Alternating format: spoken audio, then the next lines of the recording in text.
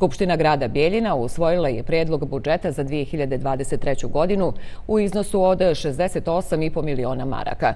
Usvojeni su amandmani koalicije Dogovor za Bijeljinu koji se odnose na povećanje sredstava za preduzetnike, za obrazovanje, socijalne kategorije i kulturu.